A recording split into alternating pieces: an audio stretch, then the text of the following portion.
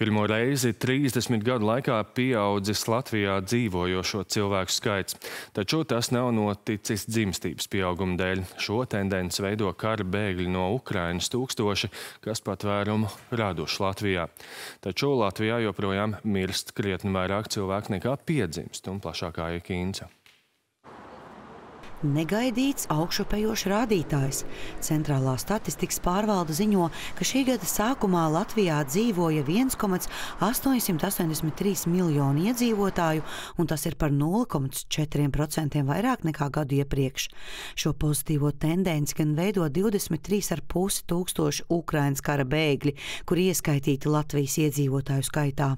Vēsturisks notikums, jāsaka, tā pirmo reizi pēc 30 gadiem kopš neatkarības ir iedzīvotāju skaita pieaugums Latvijā. Un, nu, mēs visi gribētu, lai to nodrošina dabiskā attauga, bet nu, tas ir migrācijas rezultātā. Jā. Lielākais bērnu un pusauģu pieaugums vērojams Pierīgā, kur 18% no visiem reģionu iedzīvotājiem ir vecumā līdz 14 gadiem. Nu, Latvija ir unikāla ar šo savu monocentrisko apdzīvojumu sistēmu, kur Rīga un tās piepilsēta veido pusi, jeb akumulē pusi no iedzīvotāju kopskaita. Un, protams, nu, tā kā migrācijā parasti iesaistās gados jauni cilvēki, tad arī tā demografiskā situācija uzlabojās. Taču dzimstības lejupslīde turpinās.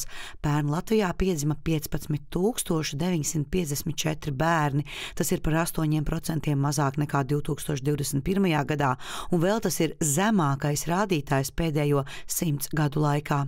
Pērn nomira 30 000. 1731 cilvēks, kas gan ir mazāk nekā pirms gada, kad smagi pļāva Covid. Šīs tendences ir visā Eiropā un gandrīz visās valstīs.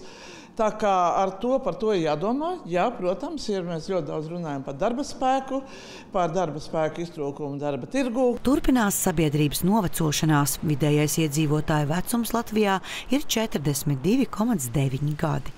Aikīns Ains Kupčs Latvijas televīzija.